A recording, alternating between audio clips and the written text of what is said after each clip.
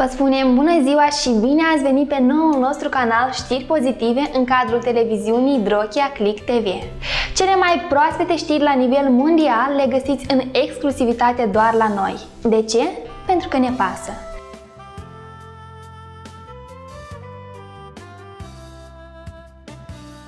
Așadar, platformele de mesagerie Facebook și Instagram se vor uni. Utilizatorii vor primi toate mesajele în același loc. Facebook a hotărât să unească mesajele din aplicația Messenger cu cele din Instagram. În acest fel, toate mesajele de pe cele două rețele de socializare vor veni în unul și același loc.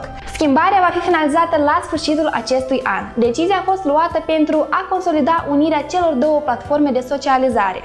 Anul trecut, Mark Zuckerberg a anunțat că va uni serviciul de mesagerie a celor două aplicații. Anunțul a venit în urma scandalului Facebook, în momentul în care parlamentarii americani analizau posibilitatea separării rețelelor de socializare a companiei mamă Facebook, care are peste 4 miliarde de utilizatori în toată lumea.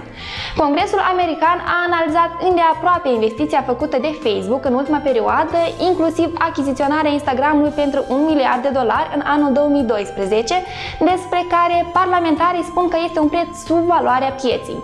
Comisia Federală de Comerț americană investigează și ea achiziționarea platformelor Instagram, WhatsApp de către Facebook. Așadar, cum va arăta noul design? Să spunem că logo-ul de Instagram pentru mesaje va dispărea. Conectarea platformelor prin serviciu de mesagerie va ajuta compania împotriva unor potențiale încercări de a rupe Facebook în mai multe părți mai micuțe. O astfel de mișcare ar fi aproape imposibilă în momentul în care cele două platforme vor fi afiliate. Unirea celor două servicii va aduce la modificarea unor uh, aspecte a mesajelor. Astfel, fiind pe pagina de Instagram vom avea posibilitatea să schimbăm culoarea chatului sau să reacționăm cu o emoție la un mesaj. Astfel, când vom intra în mesajele de pe Instagram, vom fi redirecționați automat pe mesajele din Messenger, având și mai multe posibilități.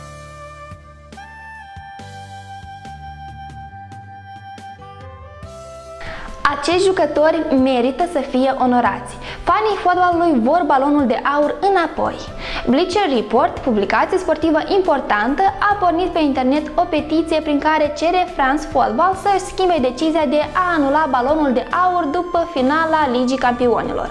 Publicația franceză a motivat decizia prin circumstanțele excepționale apărute în acest an în fotbal din cauza pandemiei de coronavirus care a blocat competițiile pe aproape 3 luni. Cu toate acestea, odată cu revenirea campionatelor de top, fotbaliștii au arătat o formă excepțională.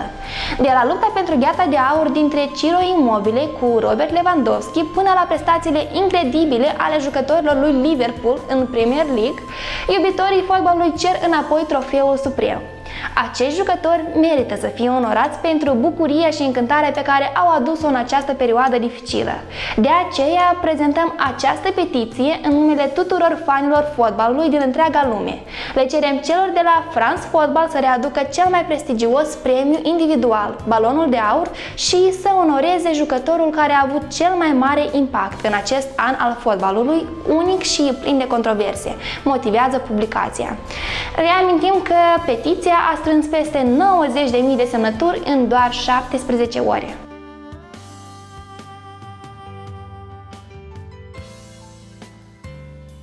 Facebook vrea să creeze un fel de mașină de memorie cu ajutorul căreia să ne aducem aminte de trecutul nostru.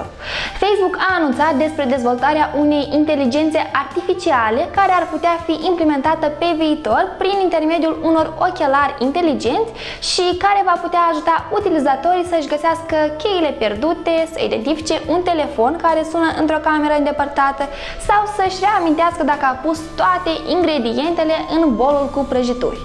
Mike Schroepfer, directorul tehnologic al Facebook, speră că această dezvoltare de inteligență artificială, deși în stadiu incipient, ar putea în cele din urmă fi folosită în viața cotidiană a oamenilor. Cu toate acestea, Însă și rezultatul acestei invenții este foarte controversată. De ce? Pentru că folosirea unor astfel de ochelari inteligenți presupune invadarea propriei vieți personale, accesarea datelor cu caracter personal și nu doar. Fapt deja inițiat de Facebook, apărând de fapt unele controverse în legătură cu confidențialitatea datelor personale. Și cum îndeamnă Mike Schrofer, inițiatorul acestor ochelari inteligenți, dorința lor este ca la sfârșitul zilei oamenii să simtă că au superputeri.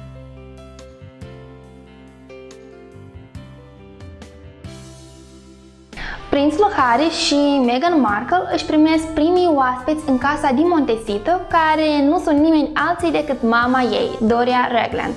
Prințul Harry și Meghan Markle se instalează în noua lor casă din Montecito, o comunitate din Santa Barbara, ce se află la aproximativ o oră distanță de Los Angeles.